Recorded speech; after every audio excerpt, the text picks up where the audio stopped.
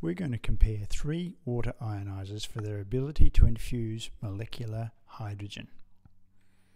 We're going to use Molecular Hydrogen Institute's H2 Blue test kit where we fill a test tube with 5 ml of water, we add one drop of reagent and we test the colour of the water after the reagent is added. If it, the colour is still blue, there is no hydrogen in the water. If it's clear, there is hydrogen in the water. This is the first model. We're putting the 5 ml into the test tube.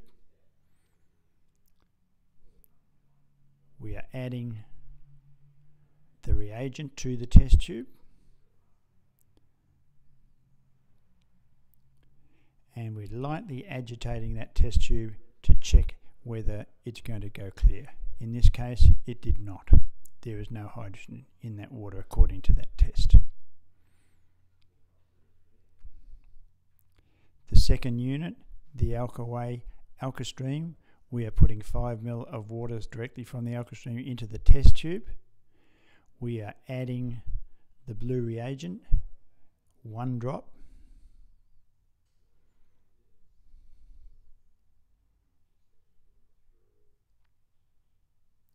And we're ag lightly agitating the water to watch to see if it becomes clear.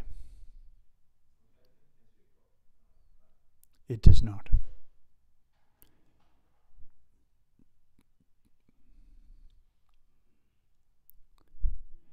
The Alkaway Ultra Stream, the same step, step one, 5 milliliter in the test tube.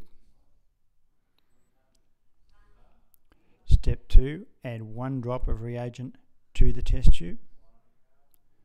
Step three, lightly agitate the water and as you can see the water becomes clear, indicating there is molecular hydrogen in the water output by the ultrastream.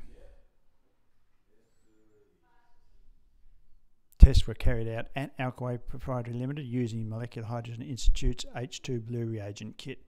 Three models were tested.